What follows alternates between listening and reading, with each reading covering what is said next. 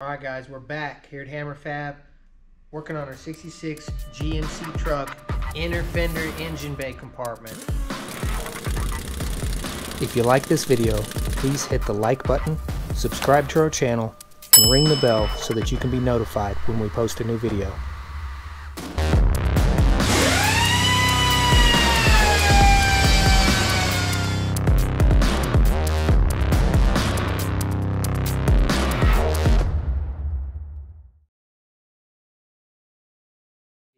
Last time we left off uh, getting these front two panels fit and we came to find out that this one did not fit as nice as we wanted it to. The pattern was a little bit off so what we're going to do is remake this one.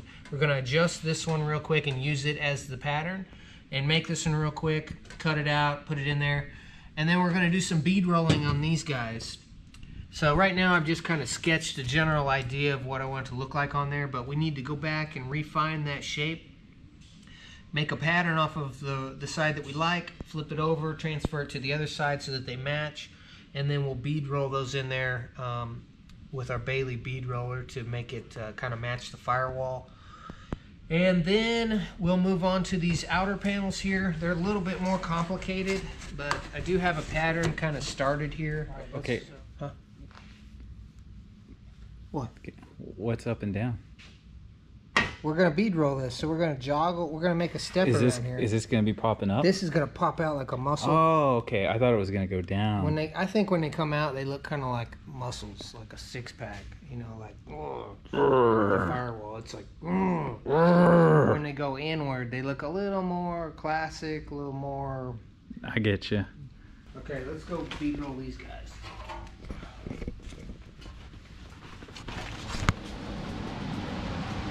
Okay, now here's what we're doing here. Okay, these are these are our tipping dies that we sell. You can get these at hammerfab.com. Now, these are similar to maybe one you've seen out there, but ours work with a lot of standard bead rollers that have a three quarter inch shank and that normally have one inch thick dies. So they work great on this uh, Baileigh bead roller, but they'll also work on other bead rollers. So this is the lower die that you can get with them if you just want to do the tipping die. So you'd put this one on the bottom and this one on the top. But if you wanted to do a step joggle or an offset, like we're getting ready to do on these panels, you need two of the tipping dies, two of the upper dies. So we're gonna use both of those. Nice thing about this tool here is it's got the quick release upper. So once you get your tension set, you just leave it and you don't have to keep unwinding it. You just crank that up and you're good to go. And then this here makes this adjustable. So we're gonna want that. So that's nice because depending on how your panel is, you can make that do whatever you want. Um,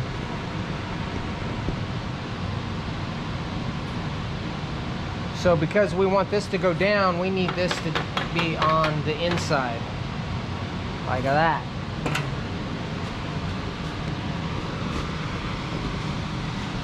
You usually want most of your work out here so it's not spinning through the throat unless you really need to. Now anytime you have a bend in the panel like that, you have to have a deep throat in order for it to swing through there, otherwise you won't get it through there. So probably wouldn't be able to do this through a bead roller with a, a real small throat. That's why I got this one, because you can do more stuff with it. Okay, now once you get that depth set where you want, you lock that down so that can't move. Now we're gonna set our, our depth up and down. And you can control the speed here. You can make it move fast or really super slow. Like super slow. And that's all on your foot pedal? No, that's all right here. Oh. So you adjust it right here, and then however much, like see, I'm floored, and then as I adjust it here, that's full speed, but then I'm still floored, and as I crank this dial down, that's full speed. So I can, even though that's full speed, I can still let up even slower. So the pedal is a rheostat, and this is a rheostat. Infinitely adjustable. Some nice precision right there. Yeah. So it's kind of like using a TIG welder. You set, you know, on a TIG welder, you set the amperage, and then you still got control on the pedal.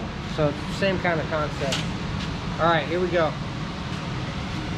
So we're gonna follow the upper die right on top of our marker line. That's not tight enough, so see how it uh, made a little depression going up. So we wanna try and do this in one hit if we can. So that's probably deep enough. And see, it because the they're offset, it wants to tend to crank the panel up. So you need to fight that panel and keep it level. Whoops, I'm going the wrong direction. So you can reverse the direction real easy. Keep it level. And on this straight line, you want to stay nice and steady.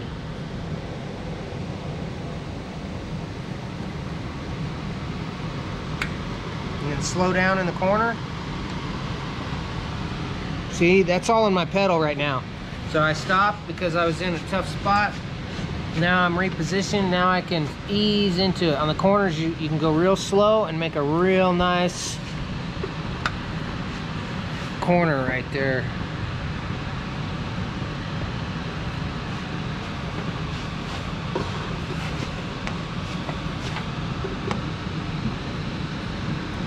See how you can just creep?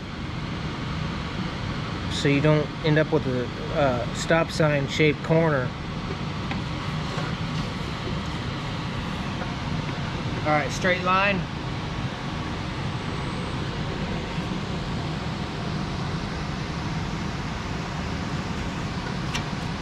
See, now I'm, I'm kind of hitting the throat on the machine, so I have to keep it at an angle, but that's okay. It's still gonna turn out okay.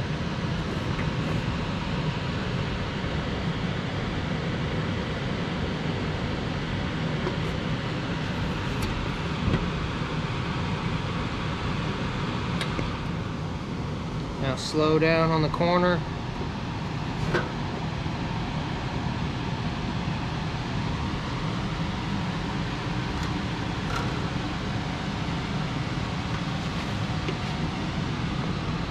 All right, straight line. Slow down on the corner.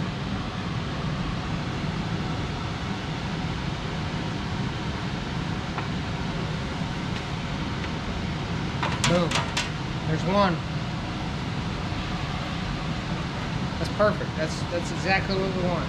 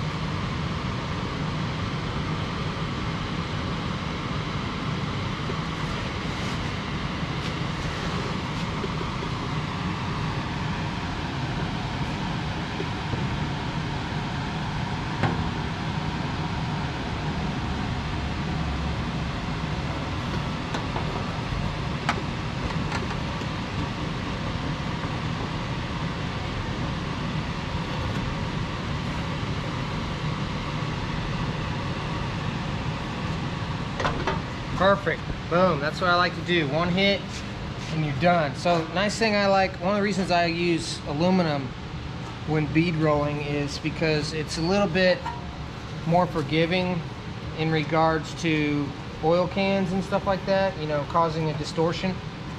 It absorbs some of that distortion where, I mean, we could probably spend a little bit of time planishing some of that out, but it really doesn't need much at all. It's pretty much good to go. I mean, we, we will spend a little bit of time on it because powder coating won't hide that. So when you're powder coating stuff, you don't get the opportunity to body work it, so your metal work has to be really nice. Powder coating might hide 80 grit DA scratches, but it won't hide might hide 50 grit scratches, but it definitely won't hide 36 grit scratches.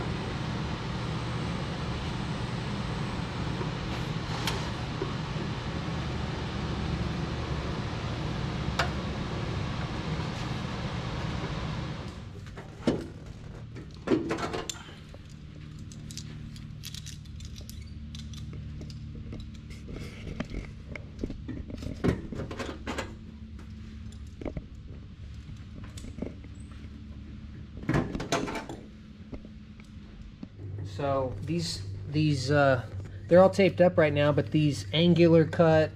Um, we also have round cut ones, but these are laser cut steel tabs that get welded to the to the roll cage here, and they just they provide a really unique look, kind of race car aggressive mechanical look to your engine bay. You could also weld them to like a roll cage and mount uh, your plexiglass or uh, acrylic windows to them if you got a race car. Um, they just look really cool and, and provide evenly spaced holes that you can weld and configure in different ways. So, anyways, we have those available at hammerfab.com on our website. They're called strip tabs. We've got the inner fenders dialed in and cleat in place and bead rolled the big panels and we got the grommets installed on the lower end so those are ready to accept a bracket and then we got this driver's side external panel fitting and we got uh, initial bead roll shape uh, laid out on there. Tomorrow we're working on the boat. Better watch that one too it's gonna be fun